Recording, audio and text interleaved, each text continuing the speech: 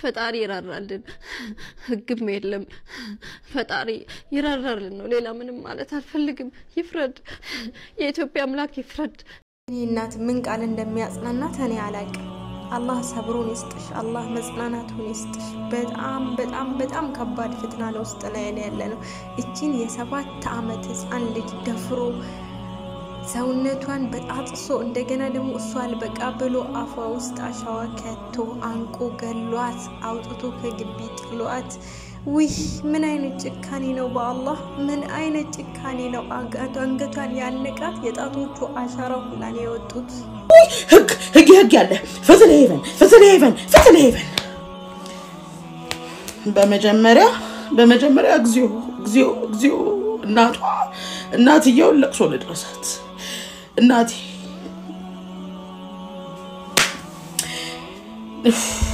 ልጇን በላባት ልጇን በላባት አውሬ በላባት ቤታሌን ብላ አስቀምጣ ወጣ።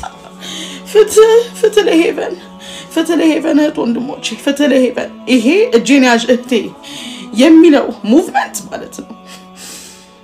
እዚህ ጋር ተያይዘን የሆነ ነገር ካልሰራን የሆነ ቦታ ላይ ካላደረስ ነው ይህን ነገር ሙሉ ለሙሉ ቢቋረጥ የእውነት ነው የምነግራችሁ። እቺ ድሃ እቺ ምስኪን ተበላች፣ በላት፣ አፏ ውስጥ አሸዋ ጠቅጥቆ በላት፣ አውሬ በላት። በእውነት በጣም ነው ማዝነው፣ በጣም ነው ማዝነው። አሞኛል። የቻላችሁት እባካችሁ እባካችሁ challenge ኡን ተቀላቀሉ። የዚች ልጅ ጋር ታሪክ ስሩላት እባካችሁ።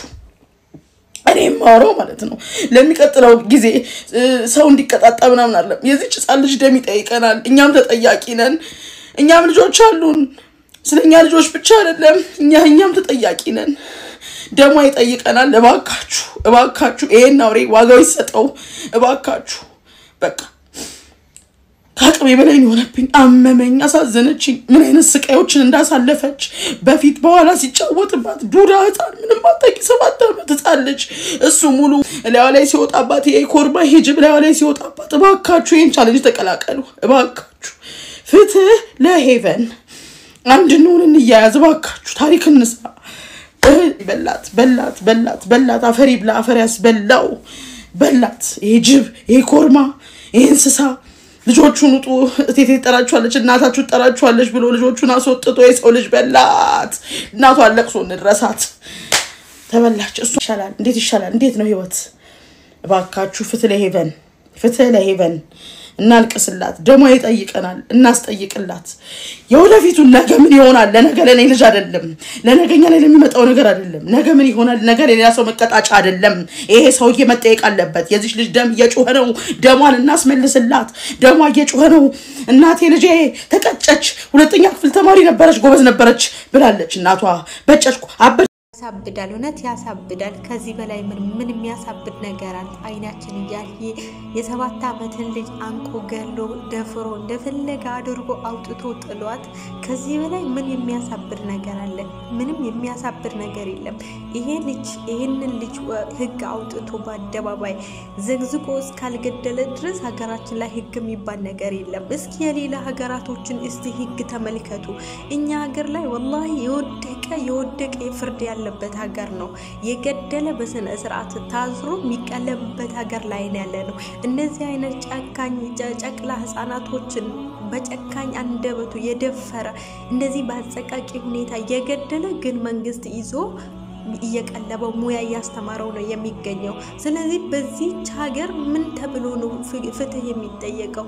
እቺ ሀገር የፍትህ ሀገር አይደለችም። በቃ ለሁሉም ትምህርት እንዲሆን ይሄንን ልጅ በአደባባይ እንዲገደል በቃ ወይም ሀገራችን ላይ ትክክለኛ ፍርድ እንዲሰጠው በቃ የሳውዲ አረቢያ ህግ አታዩ? እስኪ ተመልከቱ። እስቲ ጎረቤት ሀገር ዞር ዞር ብላችሁ እዩ። በቃ የገደለ ያንን ሰው እንደገደሉ ሌላውም እንዲገደል መደረግ የገደለ እንዲገደል እነዚህ ህጻናቶችን የደፈረ እንዲገደል ያ ለምንድን ነው ዝም የሚባለው? ለምንድን ነው እንደዚህ አይነት ትላልቅ ወንጀሎች ሲሰሩ የተወሰነ ቀን ታስሮ ገንዘብ ከፍሎ ይወጣል በተዘዋዋሪ እና ይሄ እንደዚህ ያለመደን ሰው ለተወሰነ ሰዓት ታስሮ ከተለቀቀ ነገ ሌላ ህጻናትን ላለመድፈሩ ምን ዋስትና አለው? ሁላችንም ይሄ ነገር ላይ ሁላችንም ቤት ያንኳኳል። ሁላችንም በዚህ ጉዳይ ላይ ዝም ልንል አይገባም። እንደተባለውም challenge ኡን ተቀላቅለን እስከ ጥግ መሄድ መቻል አለብን። ይሄ ልጅ ወጥቶ አደባባይ ተሰቅሎ እስካልተገደለ ድረስ ወላሂ ሁላችንም ባናቆም መልካም ነው።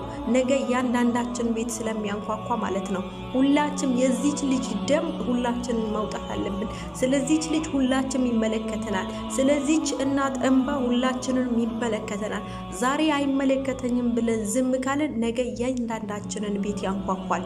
ዛሬ ዝም የተባለ ነገር ነገ ቤታችን መምጣቱ አይቀርም። ስለዚህ እንደዚህ አይነት አረመኔ ጨካኝ ወንዶችን በጊዜ እልባት እንዲያገኙ ሁላችሁም share አድርጉ። please challenge ኡን ተቀላቀሉ። በዚህ ጉዳይ ላይ ሁላችንም ትኩረት ሰጥተን እንስራበት እላችኋለሁ። ቤተሰቦቼ share like ማድረግ እንዳትረሱ። share share አድርጉ።